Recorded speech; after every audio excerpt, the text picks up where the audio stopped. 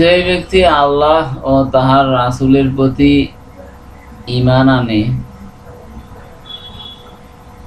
নামাজ কায়েম করে, রমজান মাসের রোজা পালন করে, আল্লাহ তাহার ব্যাপারে এই দায়িত্ব নিয়াছেন যে তিনি তাহাকে জান্নাতে প্রবেশ করাইবেন।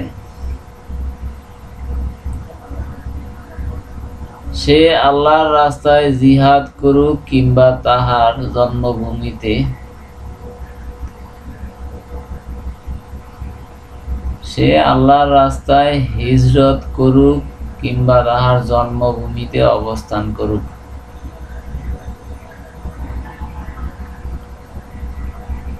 সাহাবিগণ জিজ্ঞাসা করিলেন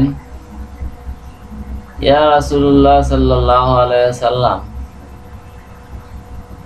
এই বিষয়টি আমরা লোকদের জানিয়ে দিব কি?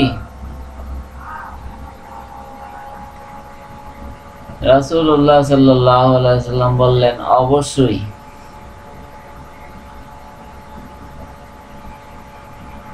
জান্নাতে একশোটি স্তর রহিয়াছে।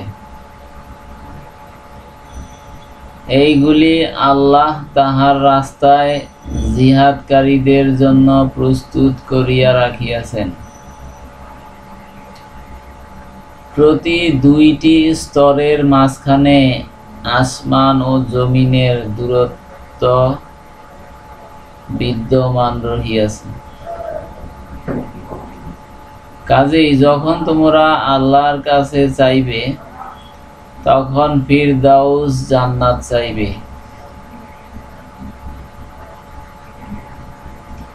কেননা সেটি হইতেছে সর্বোত্তম ও সর্বোচ্চ জান্নাত।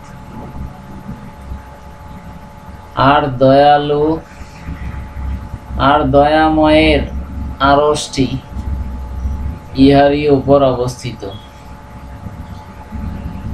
এই জান্নাতুল ফিরদাউস হইতেই জান্নাতের ঝর্ণাগুলি প্রবাহিত হইয়া থাকে।